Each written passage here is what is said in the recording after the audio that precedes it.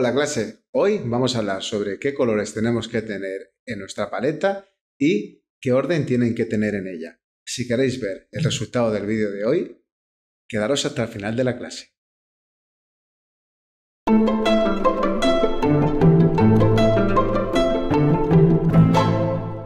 Vamos a hablar sobre qué colores tenemos que tener o cuáles serían los colores necesarios con los que empezar a trabajar pero antes vamos a hablar de la paleta.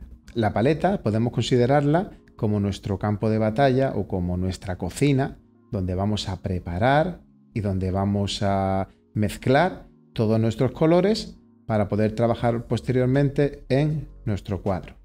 Para ello tendremos que tener primero una superficie que no sea porosa, ya que si trabajamos con maderas que no están barnizadas o que no están trabajadas con goma laca, tendrá mucho poro y cuando hagamos nuestra mezcla gran parte del aceite del óleo será absorbido por ellas. Y cuando queramos limpiarla pues va a ser bastante complicado. Por eso yo recomiendo que trabajemos con un metaquilato, como en este caso, si son paletas fijas, las que dejamos encima de la mesa, podemos poner incluso una losa, que podremos limpiarla con muchísima facilidad, si no la vamos a mover. Si la vamos a mover porque van a ser paletas que vamos a sujetar en la mano mientras pintamos? Pues tendremos entonces siempre superficies preparadas que no sean porosas, porque si no, cuando hagamos la mezcla ya sabéis que no van a funcionar bien. Vamos a empezar a hablar de esos colores fundamentales que siempre tendremos que tener. Blanco de titanio. Es un blanco con un gran poder cubriente. Lo que esperamos de un blanco es que aclare, no lo vamos a considerar como un color, sino vamos a considerarlo como un valor, el valor más luminoso de la luz, ese blanco intenso y cubriente. Dentro de la paleta cogerá este lugar y trabajaremos con más cantidad que con el resto, ya que casi todas las mezclas tendrán que llevar ese poquito de blanco que nos va a servir para desaturar, aclarar, incluso agrisar el color.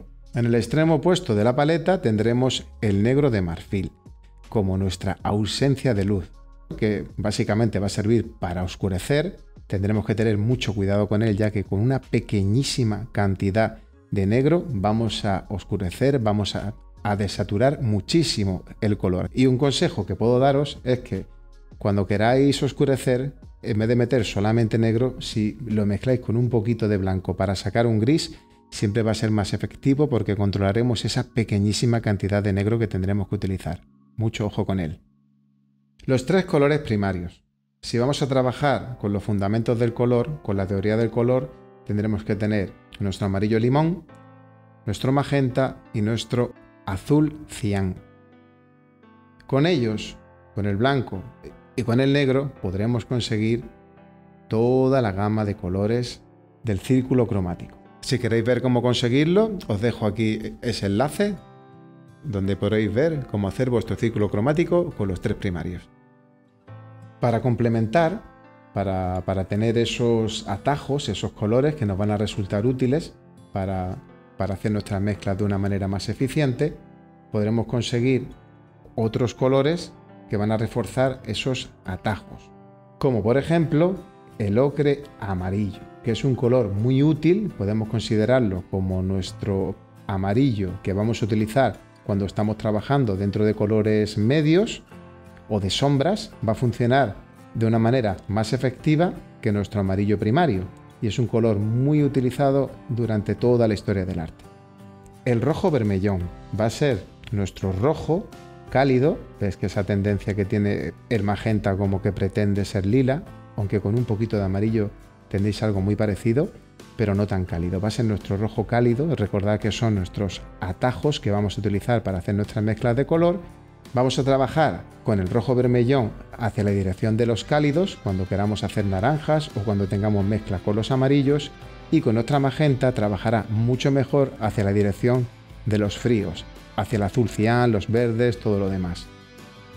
El verde vejiga va a ser el primer verde que tengamos en nuestro espectro de color, ya sabemos que podemos trabajarlo mezclando el azul cian con el amarillo, tendremos un verde con una predominancia más de azul, un verde azulado, con una predominancia más de amarillo, un amarillo verdoso pero tendremos ese atajo de ese verde vejiga, que es bastante oscuro, trabaja muy bien con el ocre amarillo, es un color muy recomendable, se hace muy cómodo en las mezclas de sacar verde de la naturaleza y también tiene un valor muy oscuro, nos va a servir para, para utilizarlo como complementario cuando trabajemos con los rojos.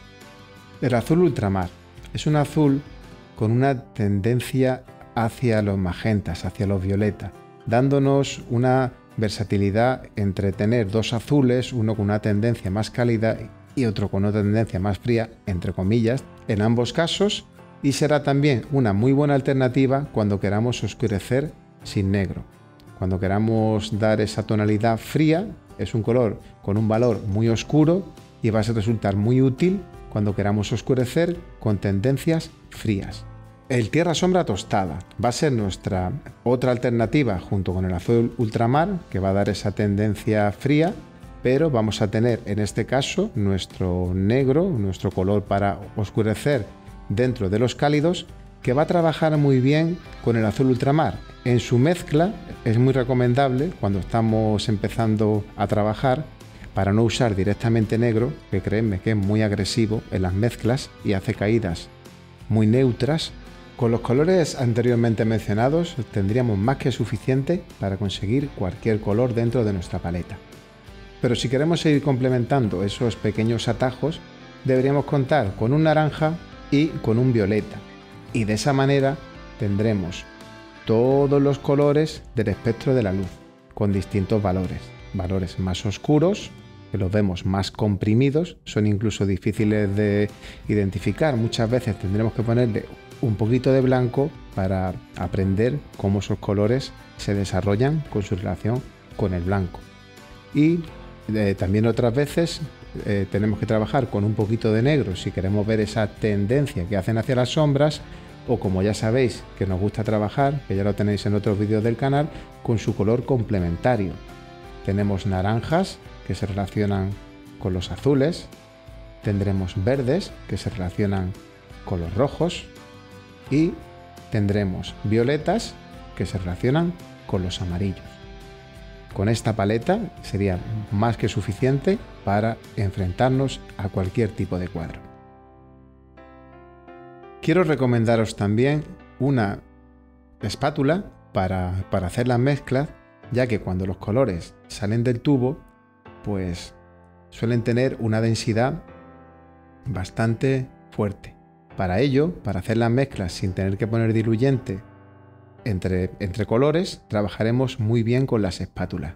Y principalmente, su principal virtud será que cuando terminemos de trabajar con ella, con un trapito o con un papel, podemos limpiarla y para el siguiente color no nos dará ninguna pequeña interferencia. Si queréis hacer las mezclas con pincel, tendréis que tener en cuenta que tendréis que estar tocando siempre diluyente. Bien ese medio, en ese aceite de linaza o esa esencia de trementina, dependiendo de la mano que estemos dando, para que podamos variar esa densidad, podamos hacerlo algo más líquido, para que nuestro pincel pueda trabajar con esas mezclas.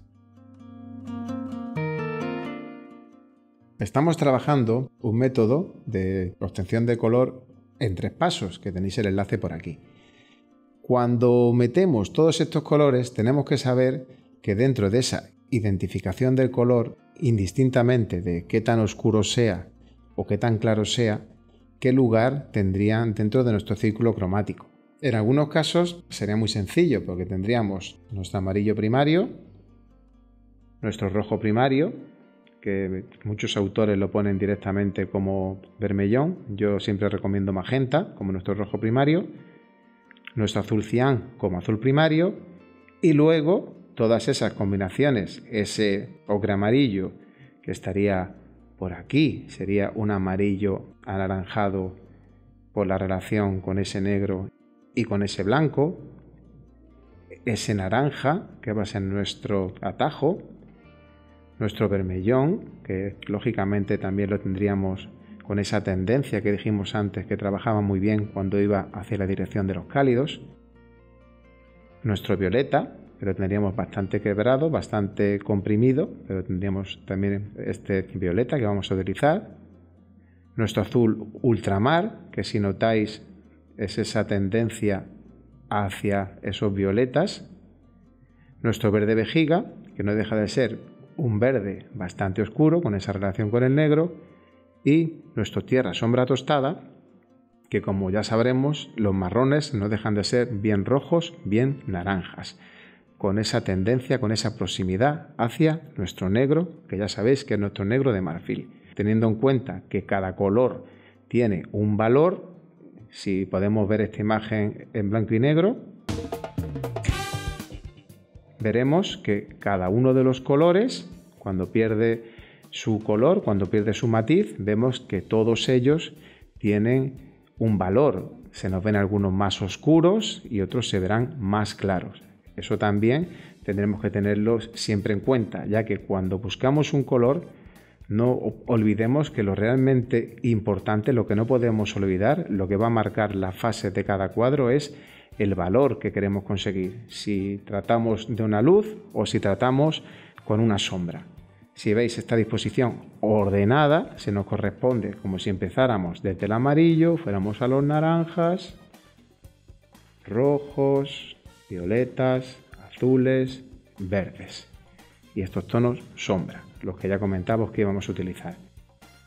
Este es el resultado de la clase de hoy. En él hemos visto cómo poder trabajar de una manera más ordenada dentro de nuestra paleta. Espero que os haya servido de ayuda y nos vemos en el próximo vídeo.